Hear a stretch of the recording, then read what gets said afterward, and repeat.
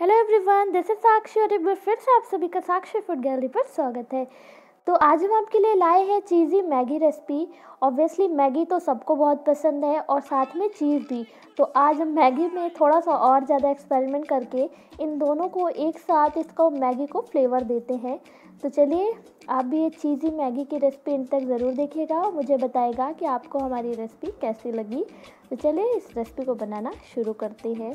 और हाँ इस चीज़ी मैगी को हमने विदाउट क्रीम बनाया है। सो लेट स्टार्ट सबसे पहले हम एक कढ़ाई पे डालेंगे बटर यहाँ पर मैंने होममेड बटर यूज़ किया है, जिसका लिंक मैंने डिस्क्रिप्शन बॉक्स पर डाल दिया है। साथ में हम इस पर डालेंगे ग्रीन चिली थोड़े से कटे हुए अनियंस थोड़े से कटे हुए कैरेट्स अगर आपको कैरेट्स नहीं पसंद है तो आप इसे स्किप भी कर सकते हैं। इन्हें हम लो टू मीडियम फ्लेम में थोड़ा सा फ्राई कर लेंगे। उसके बाद हम इस पर डालेंगे boiled sweet corn sweet corn से इसका फ्लेवर बहुत ही टेस्टी आता है। इसके बाद हम यहाँ पर डालेंगे चॉप्ड कैप्सिकम आप कलरफुल कैप्सिकम यूज़ कर सकते हैं।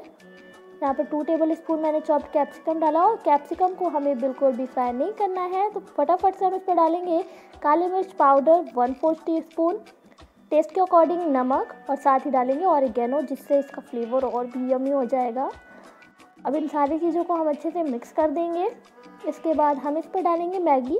यहाँ पर मैंने टू पैक्स मैगी यूज़ किया है। साथ में हम इस पर डालेंगे मैगी टेस्ट मेकर आप अगर एक्स्ट्रा इसमें टेस्ट मेकर लाना चाहते हैं तो आप इसे एक्स्ट्रा भी डाल सकते हैं। इसके बाद हम इसमें फटाफट से डालेंगे टू कप ऑफ़ वाटर और साथ में यहाँ पर हम डालेंगे बहुत सारा मोजरेला चीज़ आप कोई भी चीज़ इस पर यूज़ कर सकते हैं। मैंने यहाँ पर grated one fourth cup mozzarella cheese use किया है। इसके बाद अब हम इस पर डालेंगे milk one cup normal milk मैंने यहाँ पर यूज़ किया है। अब इसे हम कवर कर देंगे दो मिनट के लिए और दो मिनट के बाद हम इसे अब विदाउट लिड पकाएँगे। जब तक इसमें एक अच्छा सा बॉयल नहीं आ जाता है। यकीन मानिए, ये मैगी आप सबको बहुत ही ज़्यादा पसंद आने वाली है। ये हमारी चीज़ी मैगी। तो चलिए, अब यहाँ पर एक अच्छा सा बॉयल आने ही वाला है। तो आपने यहाँ पर देखा कि ये कितनी जल्दी बन जाने वाली इंस्टेंट चीज़ी मैगी है। और अगर आपको यहाँ पर वेज नहीं पसंद है तो आप यहाँ पर विदाउट वेज भी इसे बना सकते हैं।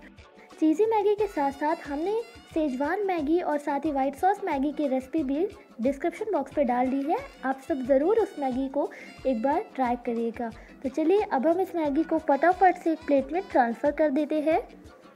यहाँ पर हमने इस मैगी के ऊपर थोड़ा सा स्प्रिंकल किया चिली फ्लेक्स और गैनो और साथ में हमने ग्रेटेड चीज़ डाला है और सबसे ऊपर इसके हमने रखा है होममेड बटर, जिसका लिंक भी हमने डिस्क्रिप्शन बॉक्स पर डाल दिया है।